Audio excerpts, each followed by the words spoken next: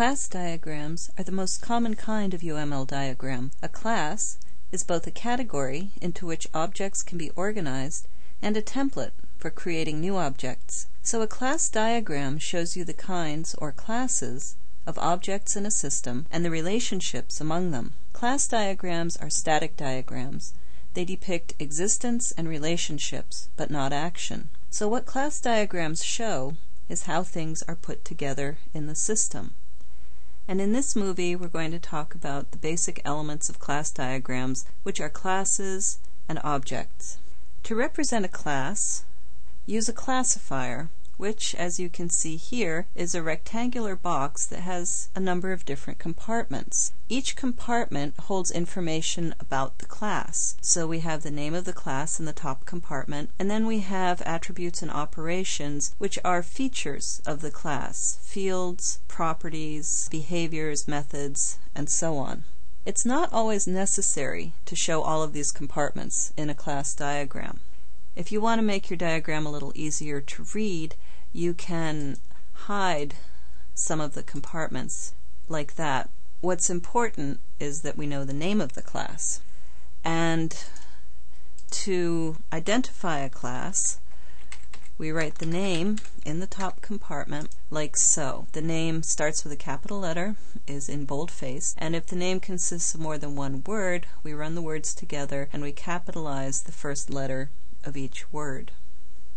Now classes are categories of objects, which means that an object is an instance of a class, something that belongs to the category the class represents. And the objects in a class all share common state and behavior.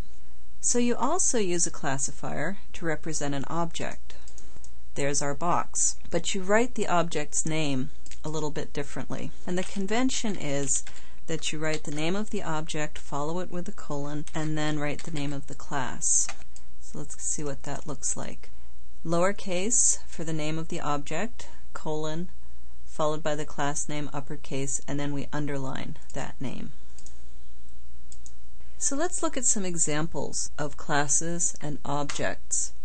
What classes can we identify in the context of a school? In other words, what are some categories into which we can group the objects that make up a school?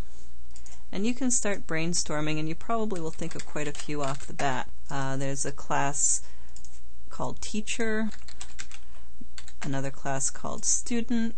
We might have a class for administrators. We can also come up with classes for things like courses classrooms, and periods.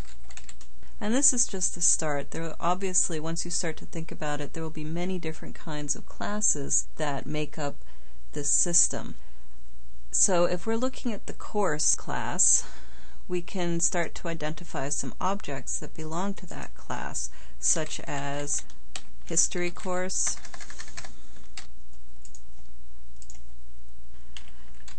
math course, uh, English, and so on.